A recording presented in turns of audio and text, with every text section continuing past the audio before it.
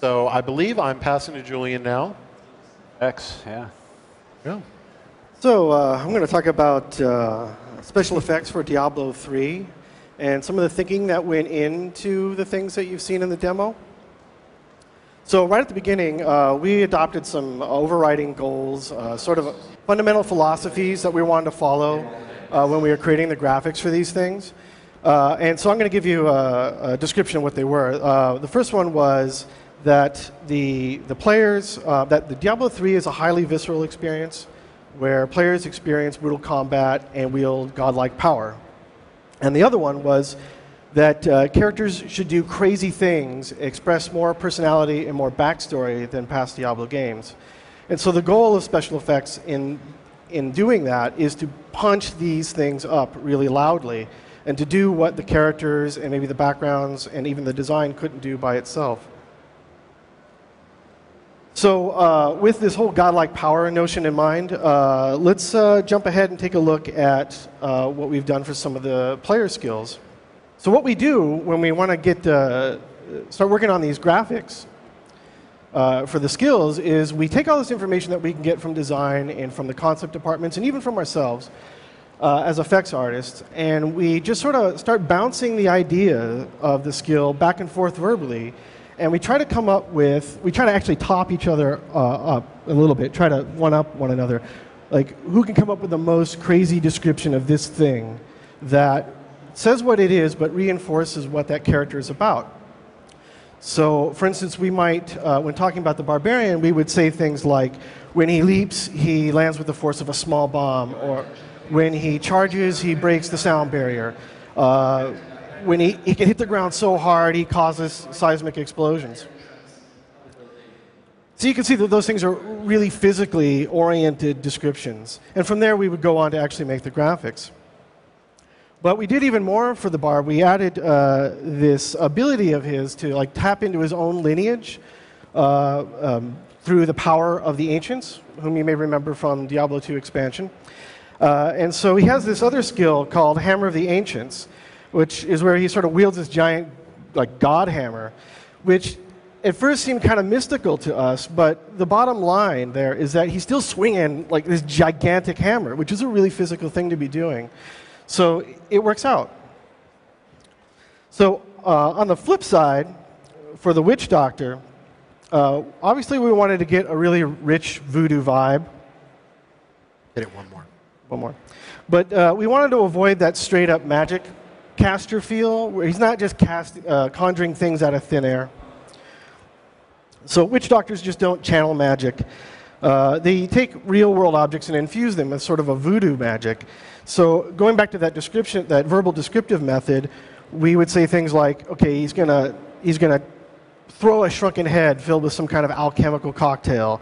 Uh, he's gonna create swarms of locusts by blowing on voodoo dust from his palm or he's going to sprinkle dust in the air and cause illusions that frighten monsters away. And of course, you're not a witch doctor unless you're doing something with zombies. Zombies, witch doctors, they go together. But here we didn't want to just do straight up zombies, you know, the kind of slow wandering around humanoid zombies. We wanted something with a twist.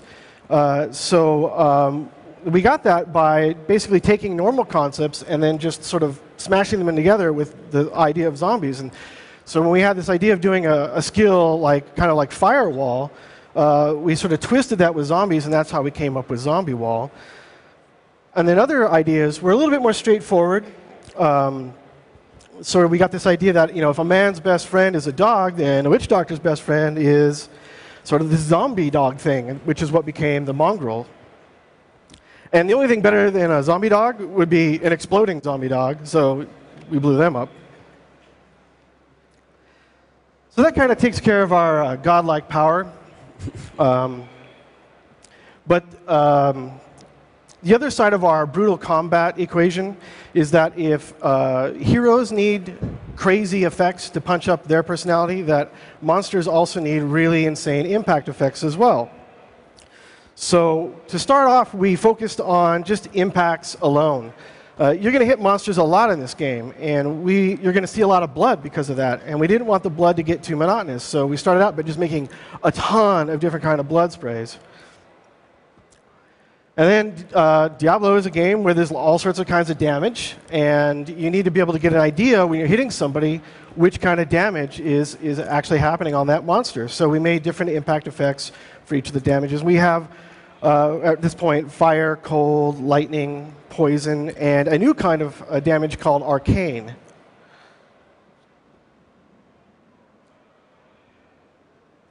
But uh, we took it a little bit farther in that critical hits are a much bigger deal in Diablo 3 than in past games.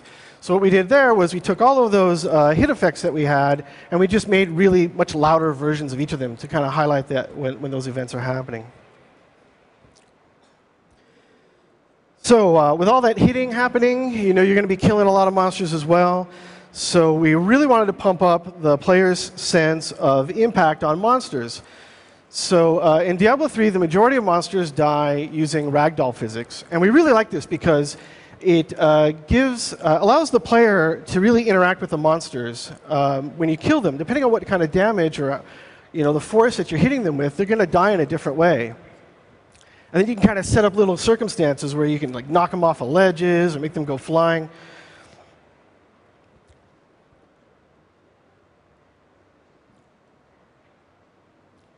But also, because uh, there's all these different damage types in the game, we also wanted monsters that die from different types of damage to have a sort of elemental flavored death.